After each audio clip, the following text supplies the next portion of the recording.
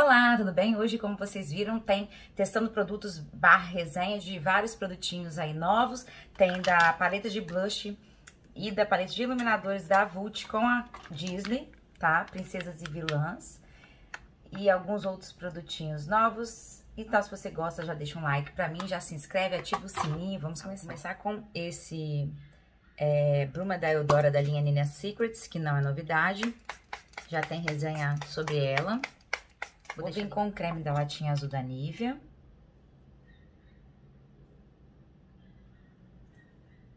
E eu vou começar pelos olhos, porque essa paleta eu já usei algumas vezes e ela é realmente bem pigmentada. Apesar de não ter muito folote, mas as cintilantes podem cair um pouquinho. Que é a paleta da Nadia Tambasco, com a Oceane. A To Go Fire, essa aqui, ó que tem aqui no vídeo de comprinhas, né? E eu não tinha usado ainda com vocês. É essa paleta aqui. As sombras são lindíssimas. Ela é super pequena, olha o tamanho da minha mão. Não é lançamento, ó. Super boa, super compacta, fininha. Ótima para carregar na necessaire, para quem sai muito, viaja, ou gosta de carregar na bolsa para retocar no trabalho. Vou passar um corretivo da Natura Aquarela como primer, que eu sempre uso. Pra ser justa, vamos começar com essa corzinha. Eu quero fazer um molho mais é, tradicional, assim, esfumadinho aqui pra fora. Então, vou começar concentrando aqui no canto externo. Tá bem molhado esse corretivo. Essa sombra, ela é uma sombra bem clara, tá? Eu tenho um tom moreno, né? Morena quase médio dependendo do meu bronzeado. Então, em mim, é, ela não fica muito intensa, não. Mas ela é pigmentada, porém, em mim, eu tenho que trabalhar um pouquinho mais, colocar um pouco mais de sombra. Nessa cor aqui, que é esse quase laranja, marrom bem quente, com esse pincel aqui, ó, da Naked Honey, que vem na paleta Naked Honey. Essa primeira cor que eu usei, esse rosinha, gente, em tons mais claros, de pele mais claro que o meu, vai ser um ótimo tom de transição. Pra mim, ela não funciona muito, tá? Então, tons mais escuros que o meu, provavelmente ela não vai pigmentar, porque ela não é forte em pigmentação. Eu acho que é a única paleta da som, dessa, única sombra dessa paleta que não segue o mesmo nível, sabe, da paleta. Vou vir nesse tom aqui, ó. Eu vou tentar usar o maior número de sombras possível. Que é um tom de marrom bem intenso e mais é, frio. E vou seguir aqui o mesmo formato, alongado. Agora eu vou vir nesse tom aqui, ó, que é um dos poucos que eu não usei ainda da paleta. É um tom bem intenso de marrom, marrom café. E ele tem uns brilhinhos dentro, mas eu tenho quase certeza que não deve aparecer no olho. É tipo uma fórmula da Color Pop, que tem os glitters soltos no meio. Eu não entendo, assim, a função disso.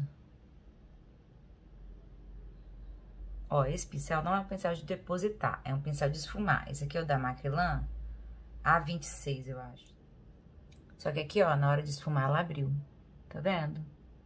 Vamos ver se é o pincel. Vou pegar um pincel mais denso. Porque não tinha acontecido com nenhuma outra sombra comigo, das vezes que eu usei essa paleta. Aqui, ó, consegui depositar, consegui consertar.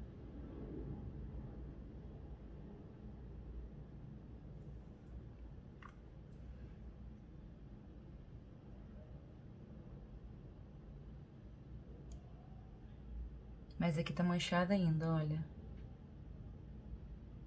Conseguem ver? É realmente essa sombra mais seca que as outras. Aí ela não pigmentou em cima dessas outras camadas. Agora eu vou vir nessa sombra do meio cintilante. Ela tem a consistência que parece até cremosa, de tão é, macia que ela é. Tem uma cor bem fria e lindíssima.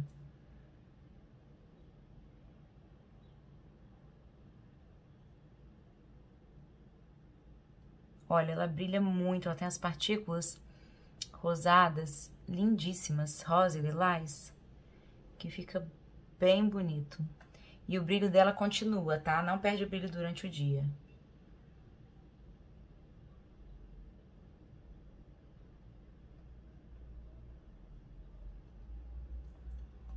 E no centro, eu vou colocar essa cor aqui, ó. Esse tom de rosa mais frio, menos intenso, mais claro. Pra ver se consigo iluminar. Vou usar um pincel pequenininho, de precisão. Esse que eu tô usando é o Macrylan W105, bem pequenininho.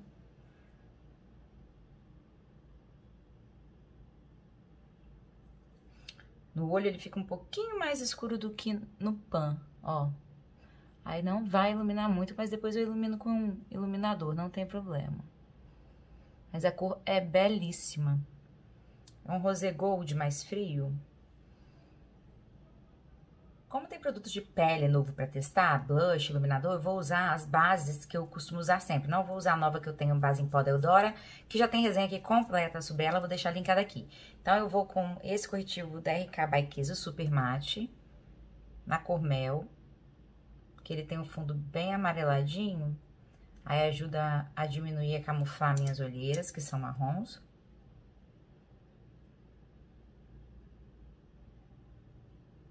E vou adiantar o vídeo para não ficar gigante.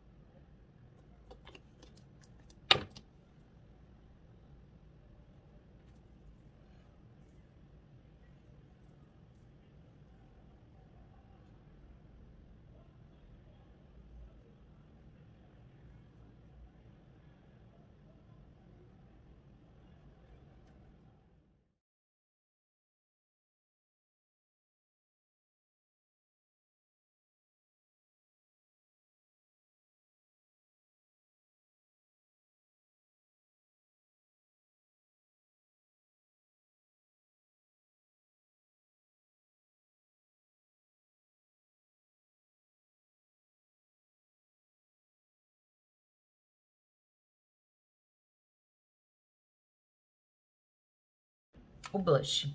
Vamos usar essa paleta aqui, ó, Vult, da coleção Disney Vilãs e Princesas. Tá escrito aqui, ó, da Cinder... Cinder... Cinderela.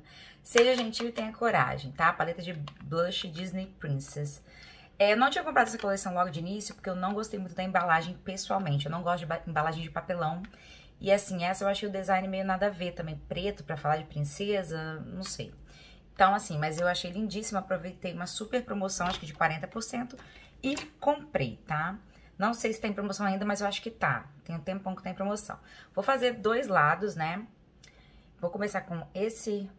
Vou começar com esse aqui, ó. Desse lado, esse aqui do outro lado, pra gente seguir a ordem. Vou pegar com um pincel, esse aqui é da Real Techniques, o R407. Olha, veio no pincel, ó. Vamos ver. Eu não sou muito fã desse tom de blush pra mim, tá? E ele é muito, muito brilhoso, gente. É, mostrei aí de pertinho pra vocês o swatch, né?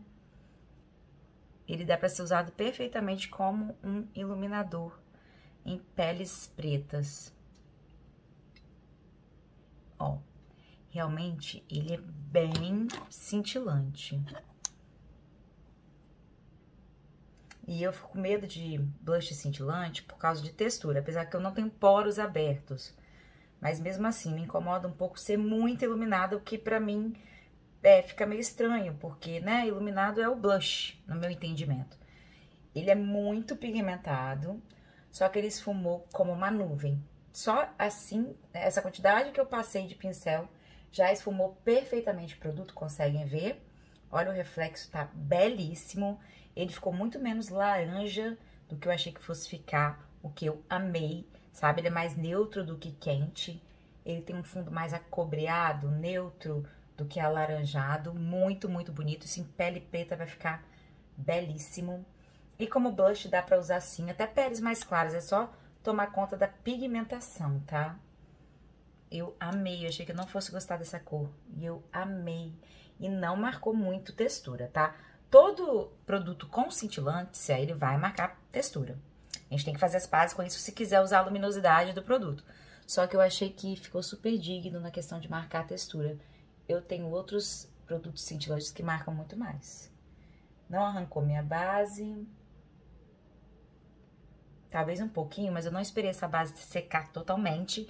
E fui meio... Esse pincel é bem denso, tá? E fui meio fortinha com a mão aqui, mas... Até agora, pra mim, tá perfeito.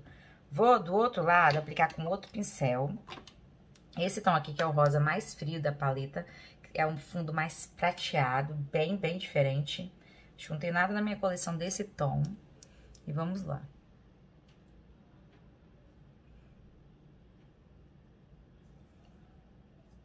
É, realmente ele tem um reflexo frio, lilás, ah, que lembra uma coisa meio prateada de repente. Vamos ver se vai acidentar na minha pele, porque costuma, quando tem um fundo assim muito frio, dependendo do produto, ou muito quente, acinzenta que meu subtom é um oliva amarelado. Então, meu subtom é um subtom difícil. Gente, ele é lindo.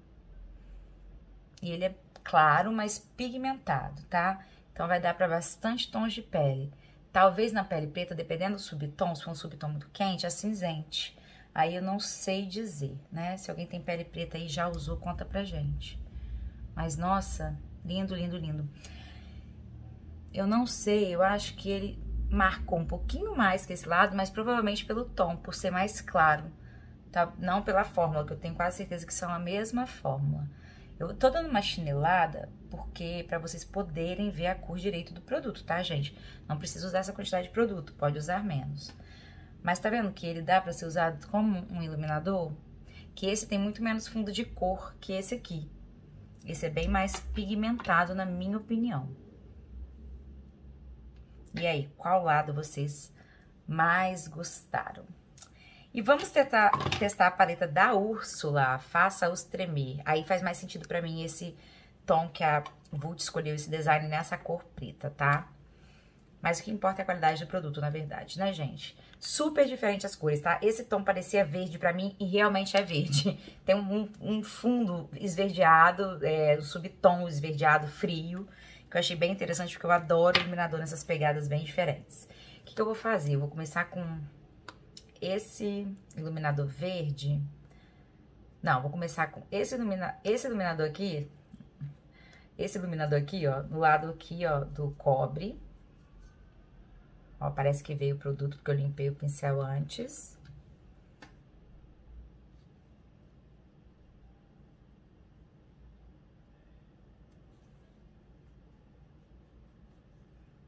Ó, ele é, tem fundo de cor, tá? Ele é pigmentado. Todos eles são pigmentados, que eu já fiz swatch, posso falar. E não tem partículas de brilho, não. É só aquela cintilância mesmo, sabe? Aquele metalizado. Eu não vejo partículas de brilho, tá, gente? E ele é bem pigmentado. Eu acho que peles muito quentes, talvez, não gostem desse subtom. Mas todos esses iluminadores dessa paleta são frios, tá? É importante falar isso. Não tem nenhum quente. Nem o que é dourado é quente. Eles são mais frios, mais neutros. Olha. Ele não apresentou esse tom...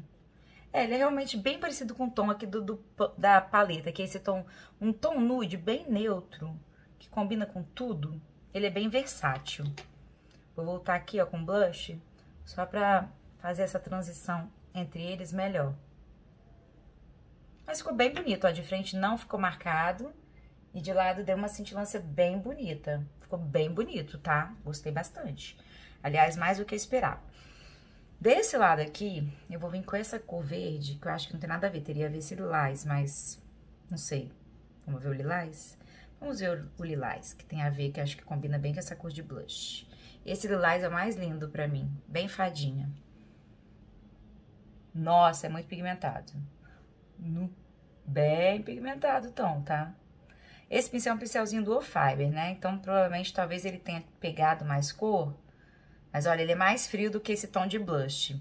Então, ele não combina muito bem com esse tom de blush. Dá pra ver? Vou pesar a mão aqui, ó, pra vocês terem noção.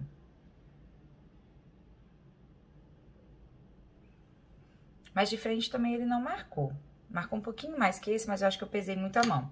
Vou dar uma esfumadinha nele com o meu pincel de pó, pra gente poder avaliar se foi a quantidade de produto que eu usei.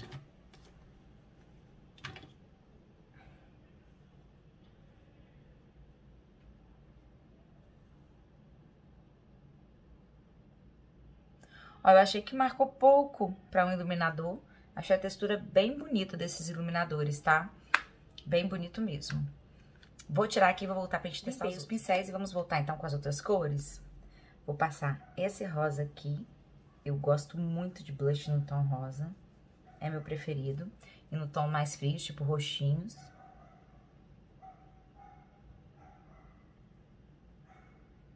É, esse tem a pigmentação bem parecida com esse mais alaranjado, mais cobre. Ah, ele é lindo. Lindo, lindo, lindo. Ele é um rosa mais frio. Dá pra ver até uma certa cintilância lilás, assim. É um rosa puxado mais pra um... Pra família ali dos roxos. Na minha opinião, tá, gente? E é belíssimo, bem brilhoso, assim, bem... Sem partículas de brilho, né? Ele tem uma cintilância bem forte, mas não marca muito textura. Agora vamos mudar o pincel que também tá limpo. Vamos pegar esse rosa, que é um pouco mais frio e um tom mais claro. Ó, vem muito no pincel, muito. E elas esfarelam, ó. Dá pra ver aqui, né? Mas isso pra mim não tem problema.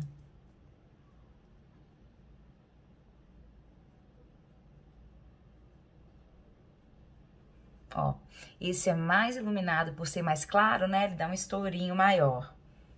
Não que a fórmula seja diferente.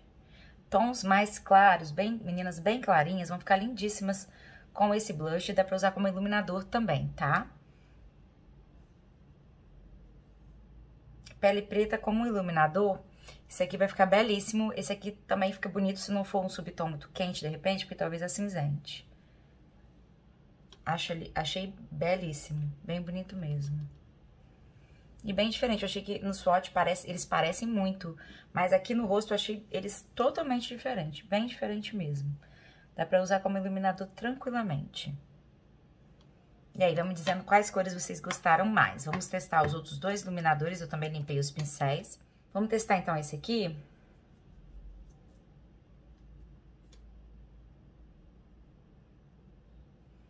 Ó, ele é bem douradinho. Ele é mais dourado no rosto do que no pan. Eu achei ele na paleta bem discreto, assim. Aliás, desculpa, gente. Ele tá, tá bem dourado aqui, como ele é realmente. No, no, no rosto, ó. E é bem neutro, tá? Pouquíssimo quente. É, dá pra usar ele perfeitamente aí, quem tem um, um quem não gosta muito de iluminador muito quente ou com muito fundo, porque ele é bem bonito, tá? E esfuma bem bonito também. Agora, vamos vir pro verde.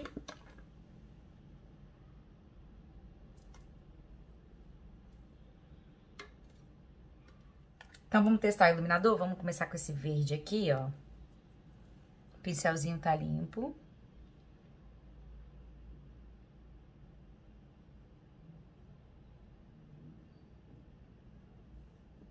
Olha, é um tom bem, bem frio, tá? Ele é bem pigmentado, assim como todos os outros. Quer dizer, frio para um neutro, tá, gente? Eu falo muito frio comparado à maioria dos iluminadores que a gente vê no mercado, que são bem quentes, né? E ele deixa um fundinho verde, assim, muito, muito longe, mais prateado, sabe? Então, é bem discreto. Não tem nada assim, nossa, não vou usar porque é verde. Não, dá pra usar perfeitamente. Principalmente se você estiver no mood com alguma coisa, algum tom mais puxado pro verde de sombra, acho que vai ficar bem interessante essa cor, sabe? Ela é bem usável. Mas óbvio que as outras cores são mais usáveis. Na verdade, eu achei essas duas primeiras cores que a gente testou, por incrível que pareça, mais usáveis do que esses dois que a gente testou agora. Porque esse tem um fundinho amarelinho mais, mais frio, então é um amarelo esbranquiçado. E o problema é que pra pele preta, esses iluminadores provavelmente não vão dar muito certo, porque eles têm um fundo meio branco, sabe? Isso que eu achei que poderia ter, né? Com certeza poderia ter é, cores de iluminador pra pele preta, assim, com um fundo não tão esbranquiçado. No meu também costuma acinzentar. Essas eu não achei que acinzentou, não, dá pra usar. Vou passar aqui no nariz, pra gente ver, que eu sempre gosto de passar iluminador no nariz. Vou pegar o, esse tom aqui, que eu achei mais ah, lindo, bem usável assim. Dá pra usar aqui, ó, onde eu gosto. Vou pegar esse douradinho pra passar aqui só pra gente ver. Ó, douradinho.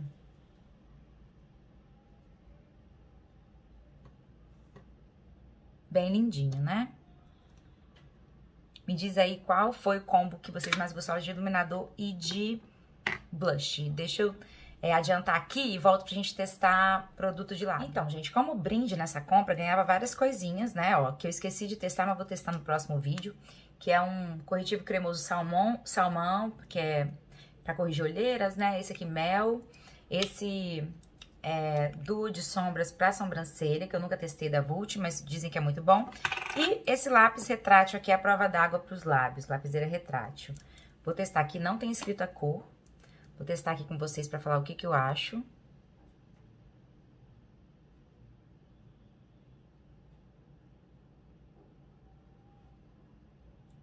Ela é bem pigmentada. É, é macia, assim, do jeito que eu gosto. Não gosto de extremamente macio, porque eu não tenho muito controle. Essa tem um tom de nude bem bonitinho. De repente, elas acompanham o tom que tá na lapiseira porque o tom é bem parecido com esse tom da embalagem. Preciso dizer que eu não tenho prática nenhuma com lapiseira de lábios, mas achei essa bem fácil de usar, tá? A cor é um nude bem básico, assim, mais quente, bem legal.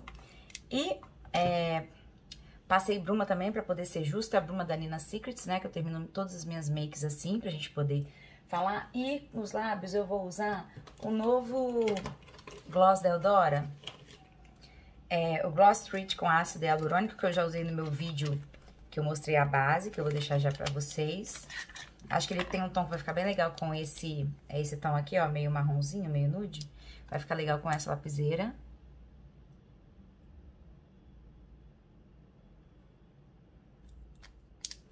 E vamos fazer aqui debaixo, né, dos olhos que eu não terminei. É... Vou pegar esse tomzinho aqui, ó.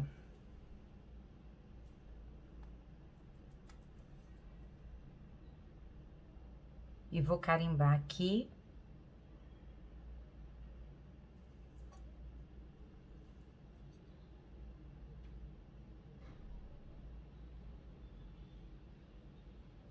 Até aqui, ó. Depois vou pegar esse pincelzinho menor e vou vir com esse laranjinha pra esfumar. Eu vou passar o mesmo cintilante que a gente usou.